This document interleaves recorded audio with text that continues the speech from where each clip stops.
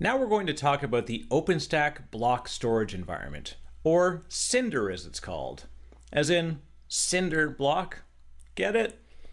Anyways, there's some more of your good OpenStack IT humor.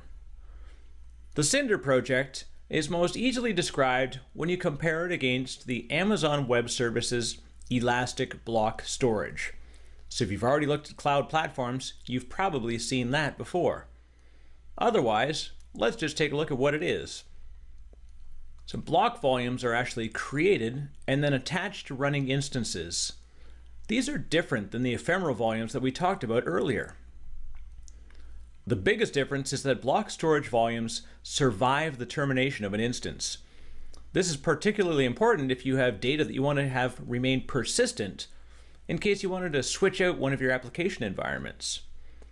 The easiest way is maybe let's walk through a little example. So over at mycyclingstore.com, we have Clara, and she's our web application environment administrator. She decides that she wants to run a CentOS instance in order to create a web application. But knowing that she wants to create persistent storage, she uses Cinder to create a 20 gigabyte block volume, and then simply attaches it to the running Nova instance.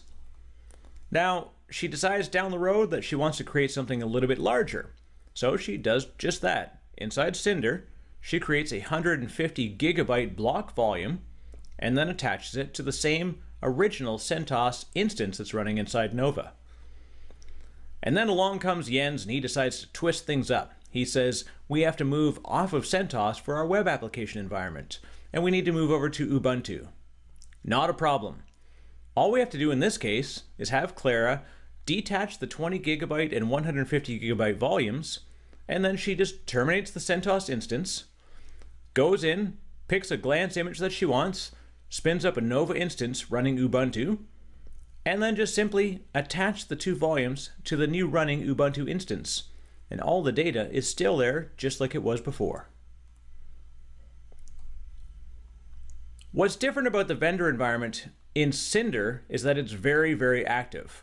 You'll see this in the network platform as well, but storage, of course, is always an interesting space. There are multiple vendor drivers for the Cinder environment, and the features are very important because there are some features that may or may not be supported. The easiest way to know is to go to the actual OpenStack website in order to check the feature list.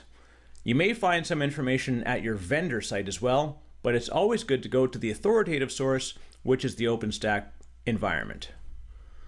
Because of the growing list of features and enhancements that are happening in OpenStack all the time, it's a good plan to actually go back and visit fairly regularly.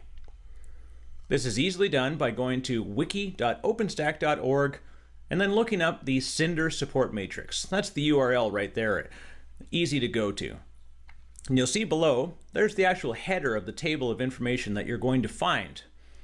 It's going to list each driver and all of the different Cinder features that are inside the project whether they're supported on that particular driver, and it's also going to show what version of OpenStack they became supported under. So you may see some stuff there that says as far back as Diablo or Essex, or maybe all the way right up to the latest release.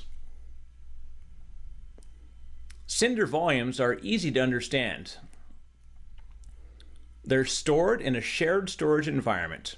This could be a large underlying shared platform that's a physical storage environment, or it could be a logical volume manager, just as simple as that. They're presented into your Nova instances traditionally using iSCSI. The features that we use to manage them is to attach or detach to your Nova instances.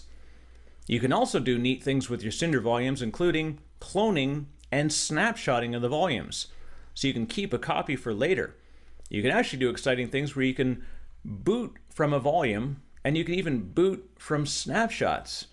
There's a lot of really interesting things that are going on in Cinder, so it's going to be good for you to keep your eyes on what's there and what's coming.